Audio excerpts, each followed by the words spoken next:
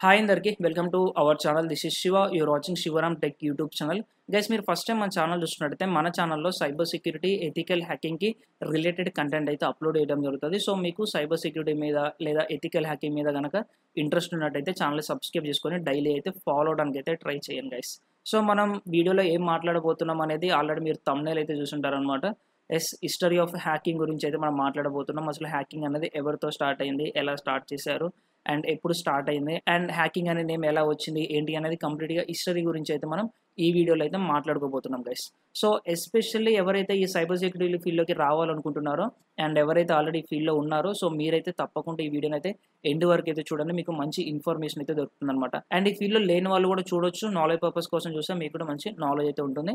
So ఇక మనం late చేయకుండా వీడియోకి అయితే వెళ్ళిపోదాం. సో ఫస్ట్ ఆఫ్ ఆల్ మనకి ఒక థర్టీన్ ఇయర్స్ ఓల్డ్ బాయ్ గురించి అయితే తెలియాలన్నమాట.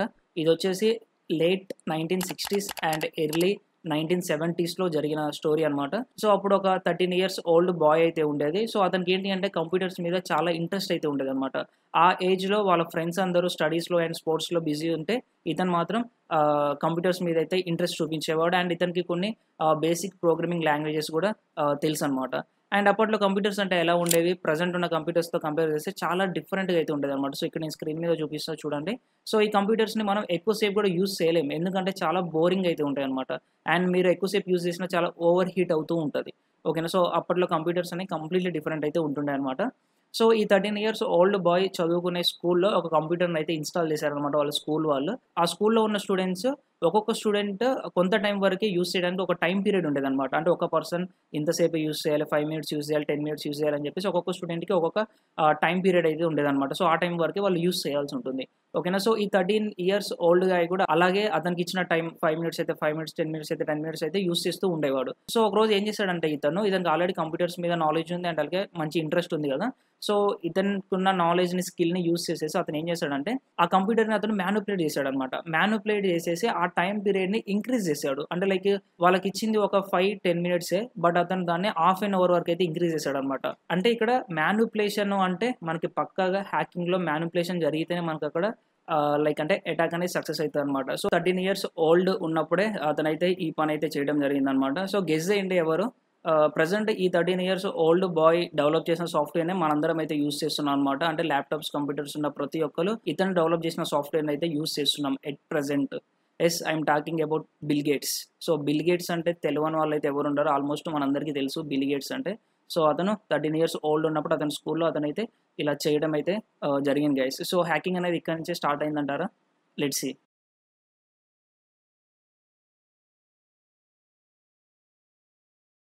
అండ్ కొంచెం ముందుకెళ్ళినట్టయితే ఎర్లీ నైన్టీన్ సిక్స్టీస్లో చూసుకున్నట్టయితే మనకి యునైటెడ్ స్టేట్స్లో ఎంఐటి అని చెప్పేసి ఒక యూనివర్సిటీ ఉండేదన్నమాట.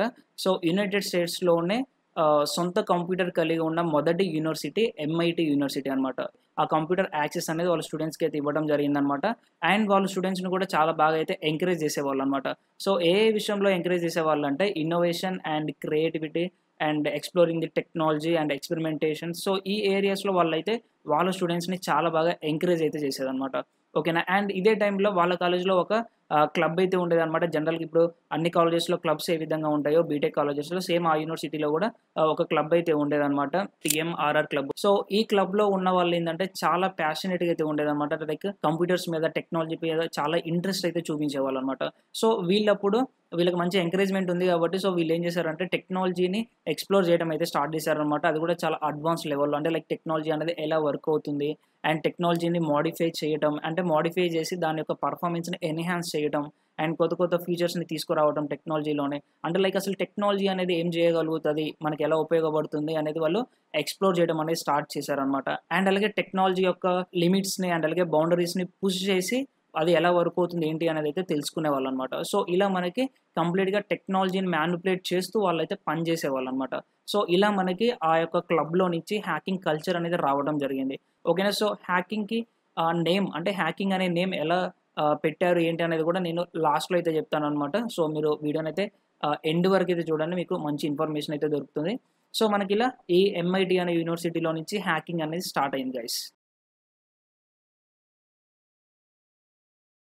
అండ్ నెక్స్ట్ మనం నైన్టీన్ సెవెంటీస్లో చూసుకున్నట్టయితే మనకి జాన్ ట్రాపర్ అని చెప్పేసి అయితే ఒక హ్యాకర్ ఉండేవాడు అనమాట సో ఇతను మనకి ఫస్ట్ అనెథికల్ హ్యాకింగ్ అయితే ఇంట్రడ్యూస్ చేయడం అయితే జరిగింది. జనరల్గా మనం ప్రీవియస్గా మాట్లాడుకున్న ఎంఐటి యూనివర్సిటీ ఏదైతే ఉందో సో ఆ యూనివర్సిటీలో స్టూడెంట్స్ అనేవాళ్ళు ఎథికల్ వేలోనే టెక్నాలజీని ఎక్స్ప్లోర్ చేసి మ్యానుపులేట్ చేసి డ్యామేజ్ చేయకుండా వాటిని అయితే టెస్టింగ్ చేస్తూ అండ్ కొత్త ఫీచర్స్ని క్రియేట్ చేస్తూ వాటిని ఎక్స్ప్లోర్ చేసేవాళ్ళు అనమాట అది ఓన్లీ ఎథికల్ వేలోనే వాళ్ళు చేసేవాళ్ళు. ఎటువంటి మెలీషియస్ అయితే వాళ్ళు చేయకుండా ఓన్లీ ఎథికల్ వేలో అయితే వాళ్ళు ఓకేనా సో ఇతను ఏం చేశాడంటే అనెథికల్ వేలో ఫోన్ బ్రేకింగ్ చేశాడు అనమాట సో ఫోన్ బ్రేకింగ్ అంటే ఏంటి అంటే టెలిఫోన్ సిస్టమ్స్ని మ్యానుపులేట్ చేయడం అనమాట అంటే టెలిఫోన్ సిస్టమ్స్ని మ్యానుపులేట్ చేసి ఎక్స్ప్లోయిడ్ చేసేసి అన్ఆథరైజ్డ్ యాక్సెస్ని గెయిన్ చేయడం అనమాట అంటే కొన్ని టెక్నిక్స్ ఉంటాయి లైక్ అంటే ఈ ఫోన్ బ్రేకింగ్లోనే కొన్ని టెక్నిక్స్ ఉంటాయి అనమాట ఏంటంటే tone dialing war dialing and blue box అని చెప్పేసి. సో ఈ టెక్నిక్స్ యూజ్ చేసి ఏం చేయొచ్చు అంటే లైక్ అంటే ఇంటర్నేషనల్ కాల్స్ని ఫ్రీగా చేయడం అండ్ అలాగే నార్మల్ కాల్స్ని కూడా ఫ్రీగా చేయడం అండ్ అలాగే కాస్ట్ ఆఫ్ సర్వీస్ని రెడ్యూస్ చేయడం అంటే కాస్ట్ని రెడ్యూస్ చేయడం అనమాట అండ్ అలాగే లార్జ్ నెంబర్స్కి కాల్ చేయడం ఒకేసారి సో ఇలా కొన్ని కొన్ని అనెథికల్ యాక్టివిటీస్ అయితే చేశాడు అనమాట అది కూడా టెలిఫోన్ సిస్టమ్స్లో ఓకేనా? సో ఇలా అతను అనెథికల్ వేలో కొన్ని అటాక్స్ చేసేసి మనకి అనెథికల్ హ్యాకింగ్ అయితే ఇంట్రడ్యూస్ చేయడం అయితే జరిగిందనమాట ఫస్ట్గా.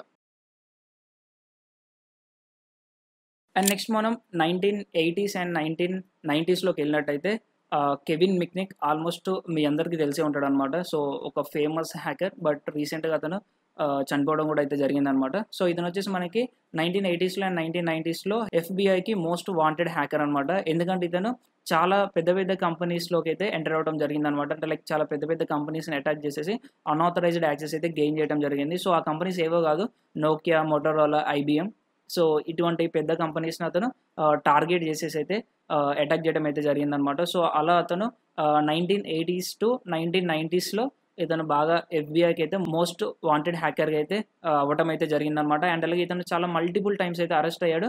బట్ ఫైనల్గా అయితే నైన్టీన్ నైన్టీ ఫైవ్లో అయితే ఇతను అరెస్ట్ అవ్వడం అయితే జరిగిందనమాట సో ఇప్పుడు మనం అసలు ఈ హ్యాకింగ్ అనే పదం ఎలా వచ్చిందని అయితే చూద్దాం. సో మనం ఫస్ట్ మాట్లాడుకున్న ఏదైతే ఎంఐటి యూనివర్సిటీ ఉంది కదా సో ఆ యూనివర్సిటీలో ఉన్న క్లబ్ ఏదైతే టీఎంఆర్ఆర్ క్లబ్ ఉందో సో ఆ క్లబ్ మెంబర్స్ అయితే ఈ హ్యాకింగ్ అనే పేరుని అయితే పెట్టడం అయితే జరిగిందనమాట సో ఈ నేమ్ పెట్టడానికి వాళ్ళు కొన్ని కీ ప్రిన్సిపల్స్ అండ్ కొన్ని వాల్యూస్ అయితే ఫాలో అయ్యారనమాట సో అవి ఏంటి అనేది అయితే చూద్దాం. సో ఫస్ట్ వన్ వచ్చేసి curiosity and exploration and second one వచ్చేసి engineers solution and third one వచ్చేసి ethical and playful intent and third one వచ్చేసి హ్యాండ్స్ ఆన్ ఎక్స్పెరిమెంటేషన్ అనమాట సో ఈ కీ ప్రిన్సిపల్స్ అండ్ వాల్యూస్ని ఫాలో అవుతూ వాళ్ళైతే ఈ నేమ్ అయితే పెట్టడం జరిగింది. సో ఇప్పుడు ఓవరాల్గా ఈ uh, కీ ప్రిన్సిపల్స్ uh, ఏవైతే ఉన్నాయో సో వీటి గురించి మీకు ఓవరాల్గా తెలుగులో క్లియర్గా ఎక్స్ప్లెయిన్ చేస్తా క్లియర్గా అయితే వినండి. సో వీళ్ళు ఫస్ట్ ఆఫ్ ఆల్ అసలు హ్యాకింగ్ అనేది స్టార్ట్ చేసింది దేనికోసము అంటే వాళ్ళకి కాలేజ్ నుంచి మంచి ఎంకరేజ్మెంట్ ఉండేది. అండ్ అలాగే వాళ్ళకి కంప్యూటర్ యాక్సెస్ అనేది ఉండేది అనమాట సో వీళ్ళు టెక్నాలజీని ఎక్స్ప్లోర్ చేయడం కోసం అయితే ఈ హ్యాకింగ్ అయితే స్టార్ట్ చేశారనమాట సో టెక్నాలజీని ఎక్స్ప్లోర్ చేస్తూ దాన్ని మాడిఫై చేస్తూ అండ్ దాని పర్ఫార్మెన్స్ని ఎన్హాన్స్ చేస్తూ అండ్ మ్యానుపులేట్ చేస్తూ అండ్ అలాగే టెక్నాలజీ యొక్క లిమిట్స్ని పుష్ చేసి ఆ టెక్నాలజీ ఏం చేయగలుగుతుంది అని వాళ్ళు తెలుసుకోవడం కోసం అయితే వాళ్ళు యాక్చువల్ హ్యాకింగ్ అనేది అయితే స్టార్ట్ చేశారనమాట అండ్ ఈ ప్రాసెస్లో వాళ్ళు హ్యాక్ అనే టర్మ్ ఏదైతే ఉంటుందో సో హ్యాక్ అనే టర్మ్ని కూడా రిఫరెన్స్గా అయితే తీసుకున్నారనమాట ఎందుకంటే ఇప్పుడు మనకి హ్యాక్ అంటే అదొక ట్రిక్ మీ అందరికీ తెలిసే ఉంటుంది. సో మనం ఇక్కడ ఒక హ్యాక్ని ఫాలో అవడం వల్ల ఏదో రూల్స్ని అయితే ఏం బ్రేక్ చేయమన్నమాట జస్ట్ ఆ రూల్స్ని బెండ్ చేసి కొంచెం స్మార్ట్గా అయితే వర్క్ చేస్తాం అనమాట సో హ్యాక్స్ యూస్ చేసి. ఓకేనా? సో వీళ్ళు ఈ టీం మెంబర్స్ వీళ్ళంతా ఈ టెక్నాలజీని ఎక్స్ప్లోర్ చేసే టైంలో కూడా వీళ్ళు చాలా హ్యాక్స్ని అయితే ఫాలో అయ్యారనమాట. సో ఆ హ్యాక్స్ని కూడా ఒకరికొకరు షేర్ చేసుకుని వాళ్ళు గ్రో అవ్వడం అయితే జరిగిందనమాట. ఓకేనా? సో ఇక్కడ వాళ్ళు ఎటువంటి డ్యామేజ్ చేయకుండా కంప్యూటర్స్కి అంటే ఎటువంటి మెలిషియస్ వేలో వర్క్ చేయకుండా పాజిటివ్గా ఎథికల్ వేలో వీళ్ళైతే టెక్నాలజీని ఎక్స్ప్లోర్ చేస్తూ ఉన్నారనమాట. సో వీళ్ళ పాయింట్ ఆఫ్ వ్యూలో హ్యాకింగ్ అంటే ఏంటంటే creativity and innovation and problem solving and curiosity అనమాట అండ్ అలాగే అసలు టెక్నాలజీ అనేది ఏం చేయగలుగుతుంది అని తెలుసుకోవడమే వీళ్ళ పాయింట్ ఆఫ్ వ్యూలో హ్యాకింగ్ అనమాట ఓకేనా సో వీళ్ళు ఈ ప్రాసెస్ చేసే టైంలో ఎప్పుడు కూడా మిలిషియస్ వేలో థింక్ చేయలేదు అండ్ ఏ సిస్టమ్ని కూడా డ్యామేజ్ అయితే చేయలేదు అనమాట but what technology can do అనేది అయితే వాళ్ళు తెలుసుకోవడం కోసం అయితే ట్రై చేశారు. సో ఇలా వాళ్ళు హ్యాకింగ్ అనే నేమ్ని అయితే పెట్టడం అయితే జరిగింది గైస్ అండ్ అలాగే మనం స్టార్టింగ్లో బిలిగేట్స్ గురించి అయితే మాట్లాడుకున్నాం కదా? సో అక్కడ బిలిగేట్స్ చేసింది వచ్చేసి మనకి ఇక్కడ హ్యాకింగ్ అనేది ఎథికల్ హ్యాకింగ్ ఉంటుంది అనెథికల్ హ్యాకింగ్ ఉంటుంది. అండ్ అలాగే మీకు ఆల్రెడీ తెలుసు white hat hackers and black hat hackers and grey hat hackers అని చెప్పేసి. సో ఇక్కడ ఫస్ట్లో మనం ఏదైతే బిలిగేట్స్ గురించి మాట్లాడుకున్నాం కదా సో బిలిగేట్స్ వాళ్ళ కాలేజీలో చేసిన ఏదైతే సిచ్యువేషన్ ఉంది కదా. లైక్ అంటే సిస్టమ్ని మ్యానుపులేట్ చేసి అతను ఒక టైంని ఇంక్రీజ్ చేసుకున్నాడు కదా. సో అది వచ్చేసి మనకి గ్రే హ్యాట్ హ్యాకింగ్ కిందకి అయితే వస్తుందన్నమాట. ఎందుకంటే అక్కడ బిలియర్స్ ఎటువంటి సిస్టమ్కి డ్యామేజ్ చేయలేదు ఎటువంటి కంపెనీకి డ్యామేజ్ చేయలేదు అండ్ ఎటువంటి డేటాని స్టీల్ చేయలేదు ఏం చేయలేదు. బట్ ఏంటి అంటే అక్కడ వాళ్ళ స్కూల్లో ఉన్న రూల్స్కి అగెన్నిస్ట్గా అతనైతే ఆ సిస్టమ్ని మ్యానుపులేట్ చేసి అతనికి కావాల్సిన విధంగా యూస్ చేసుకున్నాను అనమాట సో ఇది మనకు ఒక రకంగా గ్రే హ్యాట్ హ్యాకింగ్ కిందకి అయితే వస్తుంది అనమాట ఓకేనా? సో ఇది గైస్ హిస్టరీ. సో ఇప్పటి వరకు నేను చెప్పిన హిస్టరీ ఓన్లీ టూ థౌజండ్ వరకు మాత్రమే. ఓకేనా? అంటే ఏదైతే ఎర్లీ నైన్టీన్ సిక్స్టీస్ నుంచి అండ్ టూ థౌజండ్ వరకు జరిగిన హిస్టరీ అనమాట ఇప్పటి వరకు నేను చెప్పింది. బట్ టూ థౌజండ్ తర్వాత మనకి చాలా అటాక్స్ జరిగాయి అండ్ చాలా గ్రూప్స్ వచ్చాయి. లైక్ ఎనానిమస్ గ్రూప్ ఇలా చాలా వచ్చాయి అనమాట సో అది కూడా మనం తెలుసుకుంటా పోతే ఇంకా మనకి వీడియో అనేది చాలా లెంతీ అవుతుంది. అండ్ మీకు ఒకవేళ అది కూడా టూ థౌజండ్ నుంచి ఇప్పటి వరకు జరిగిన క్రైమ్స్ అటాక్స్ గురించి కూడా ఇంకా ఇన్ఫర్మేషన్ కావాలి అనుకుంటే నాకు ఈ వీడియో కింద కమెంట్ చేయండి. తప్పకుండా నేను దీనికి పార్ట్ టూ అయితే చేయడానికి అయితే ట్రై చేస్తాను అనమాట బట్ నేను అనుకున్నది ఏంటంటే ఈ వీడియోలో కంప్లీట్ హిస్టరీ ఒకటి కవర్ చేయాలని చెప్పేసి. అంటే latest two thousand twenty four వరకు ఏం జరిగిందని కాదు. జస్ట్ హిస్టరీలో ఎలా స్టార్ట్ అయింది ఓకేనా ఎలా స్టార్ట్అప్ జరిగింది అనేది చెప్పడం కోసం నేనైతే ఈ వీడియో అయితే చేశాను అనమాట సో టూ థౌజండ్ తర్వాత జరిగిన అటాక్స్ గురించి క్రైమ్స్ గురించి కూడా కావాలి అనుకుంటే నాకు వీడియో కింద కామెంట్ అయితే చేయండి. సో మీకైతే ఈ వీడియోలో మంచి ఇన్ఫర్మేషన్ అందిందని చెప్పేసి నేను అయితే అనుకుంటున్నాను guys so thanks for watching this is your signing off